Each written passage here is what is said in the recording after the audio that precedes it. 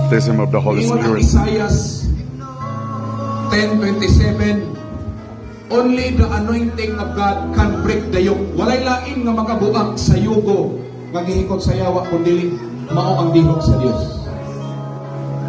Now, it is I, na Lord, bubuin ko sa dihok aron magamit ko sa buluhaton alang sa imong kamayaan aron makabaton ko og gahom sa pagbarok sa kamatuoran. Makabaton ko gahom sa pag-ayos sa masakiton. Makabaton ko gahom sa pag-abog sa tanang daotang espiritu makabaton ko gahom sa pagsangyaw sa imong pulo. Makabaton ko og gasa sa paglitok sa mga pinulungan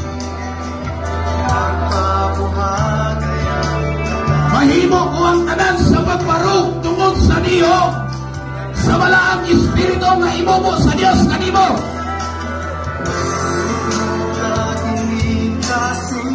hawiri ang imong dapat hawiri hugot sige open your heart Aplihin yun inyong kasing-kasing aron inyo rin madawat. Inisan! In the Lord, I am willing. Ko dihok. Gamit ako alang sa imong kahimayaan.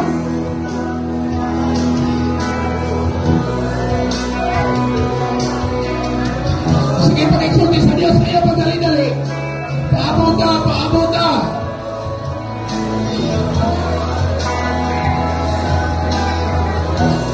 Sige, ko inisal. In the Lord, bubuhay ko sa imong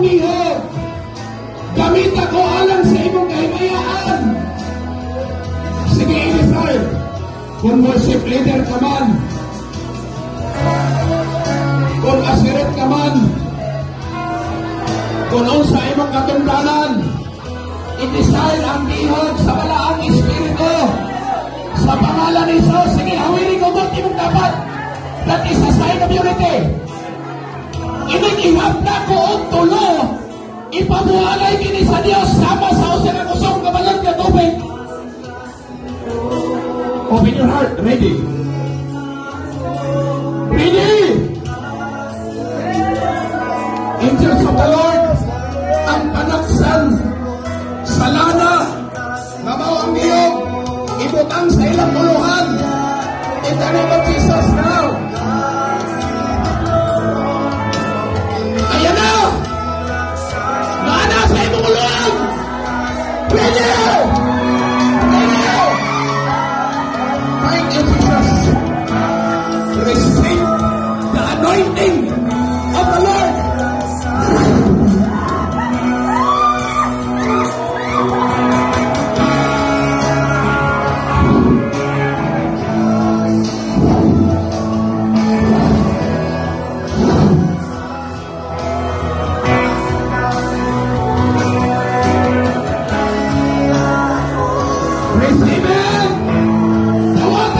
Biyog sa pagkakagwawali!